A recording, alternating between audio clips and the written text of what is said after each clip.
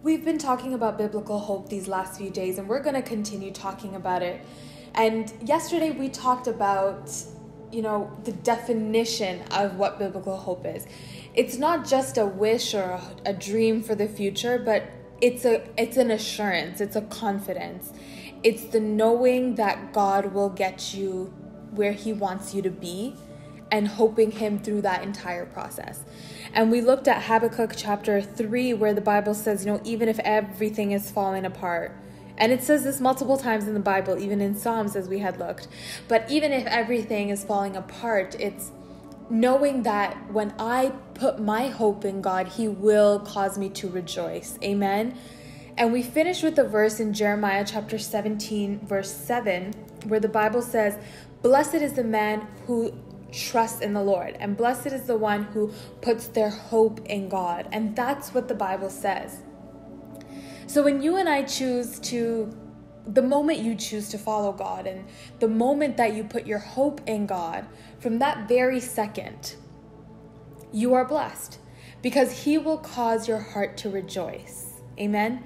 No matter what happens, even if you're going through the hardest of times, He will cause you to rejoice. And that is biblical hope.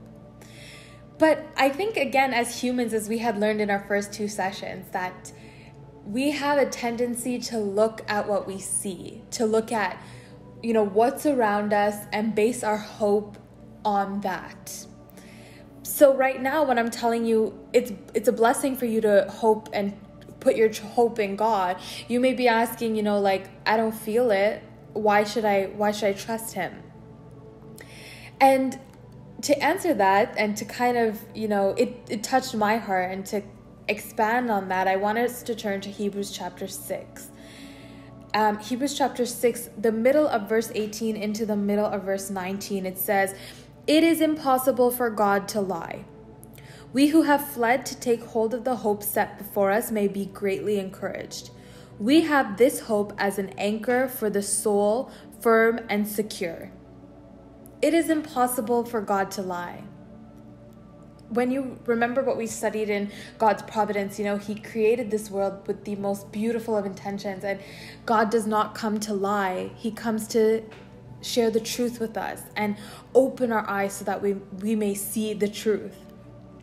So, because He cannot lie and all of the Bible is His word, we know that when the Bible tells us and God tells us that He's going to bless us and He's going to cause us to rejoice, that that will come to pass. If you go to verse 14 of the same chapter, it says, I will surely bless you and give you descendants. And this is a quote from earlier in the Bible where God looks to Abraham and says, I will bless you. And he did bless Abraham. And likewise to us, when we take hold of these promises and we keep our hope in God, because the Bible tells us that He can't lie, they will come to pass, and that is our hope. That's our assurance, and that is our confidence.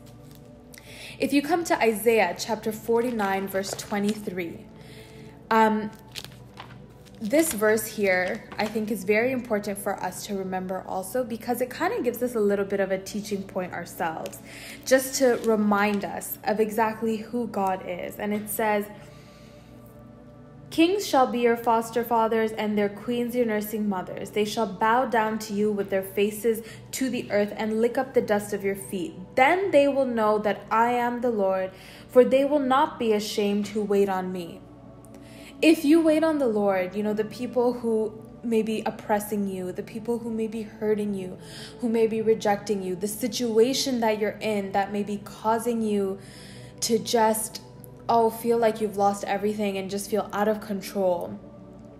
All of those things will come crashing down around you so that they will know that God is with you at all times and when you wait upon God's timing and your hope continues to stay firm while you're waiting, then you will not be put to shame. Those who trust in the Lord will not be put to shame. Those who wait upon the Lord will not be disappointed. The New International Version finishes that same verse saying, Those who hope in me will not be disappointed. And that is our assurance that God's promises, because He doesn't lie, because He is honest, because He is true, He will make His plan come to pass in your lives, and the people around you will be able to see how God has blessed you and caused you to rejoice. May your confidence, may your hope, may your trust continually reside in God today, and let it be a reminder for you that He doesn't lie. Amen. I hope to see you guys tomorrow. Thank you so much.